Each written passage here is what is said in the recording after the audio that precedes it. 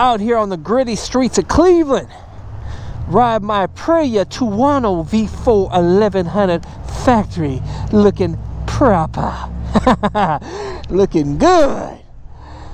But you know, you know what guys, I always recommend wearing motorcycle gear, you know, in all of my videos. But I'm gonna tell you, there's certain motorcycle gear you should avoid. Stay tuned. Let's go for a ride.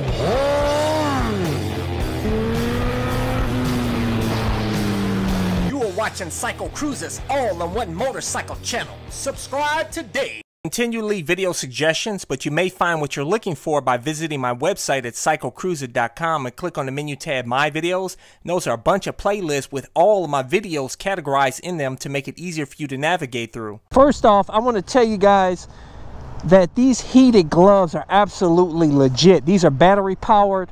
I've been riding for like three and a half hours so far and uh, still good. I keep it on low and I'm good. I have a link to these in the description and comment section of this video. And for those of you guys who want to get my gear like this airbag vest, I recommend everybody get this to help stay safe. My ultra lightweight carbon fiber helmet, my Dainese winter jacket keeping me warm, uh, camo pants, uh, boots, all my stuff. I always include my links to my gear in the description and comment section of my videos. Uh, man, this thing, I tell you, it's this thing is worth its weight in gold. Because as you guys know I didn't have it on when I fell on my YZ uh, messing around off-road and I broke my collarbone. I, I, believe had I had this on it possibly could have prevented the uh, the break which cost over five thousand dollars to fix that broken bone man. So broken bones are expensive guys and uh, you don't want to go through all that that uh, pain like I went through. Wear the airbag vest and helmet and all the gear. Uh, but I will tell you guys when it comes to used helmets don't buy used helmets.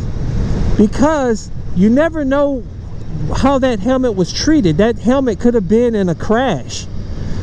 And uh, or it could have been dropped. It could still look new shiny no problem no scratches on it but somebody may have dropped it because you know if you drop it uh, from like I don't know like six feet or whatnot and you drop it on the ground it could reduce uh, the integrity of the helmet you know reducing its safety. Uh, and if it's been in a crash you know obviously they say you shouldn't wear the helmet after you've been in a crash you want to stick to buying new because you know what you're getting uh, it's helmets are not that expensive. You can get helmets on clearance for cheap. You know when i got back into riding back in like was like 2009 8 or 9 when i had that chinese scooter i bought that helmet on clearance. It was like i think it was probably like uh, three years old a three year old new one uh, that had been sitting on the shelf for three years. Helmets are generally good for five years. Um, so that helmet cost me 50 bucks. 50 dollars man. You know brand new i think it was like 150 i think it was like 150 bucks or 200 bucks brand new. Um, so you could get deals you know when these when the gear goes on clearance. So it's really unnecessary uh, to buy a used helmet. And also when it comes to gear avoid buying uh, loose jackets. You know loose jackets loose pants. You want your motorcycle jackets and pants to fit tight so that it secures the CE armor. So that if you go down the CE armor is in place to help you know keep you safe keep your bones safe keep your uh you know because the CE armor helps lessen the blow when you go down helps lessen the impact but if that gear is not, you know, the CE armor is not in place and it moves around, then obviously that leaves your, you, you know, your bones vulnerable.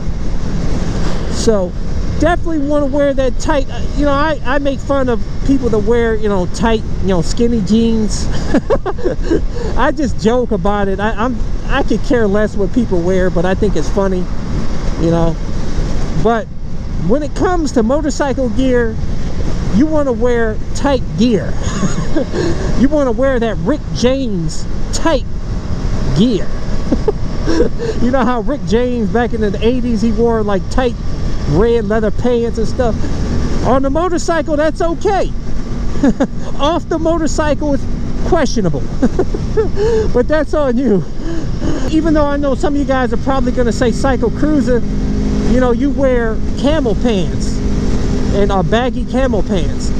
The only reason I wear camo pants, guys, you see that I have on right now, is be on cold days like this. It's like 38 degrees.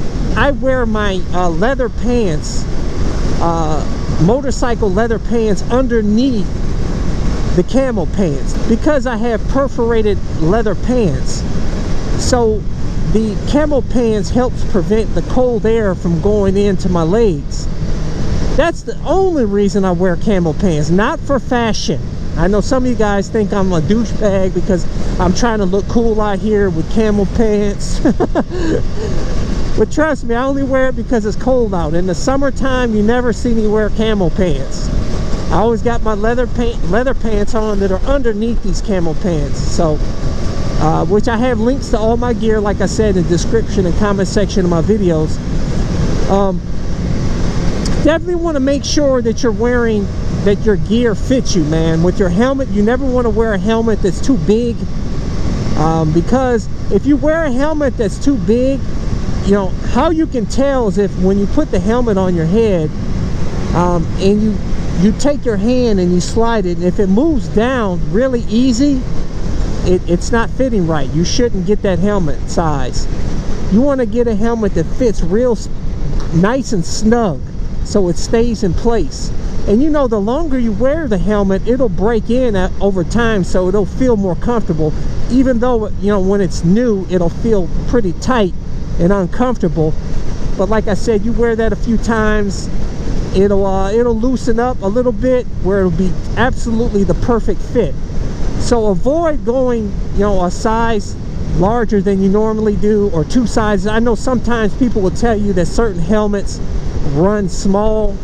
Uh, but to be honest with you the reason why they're probably saying that is because the interior of the helmet is is on fitting on their face really tight and it feels uncomfortable for them.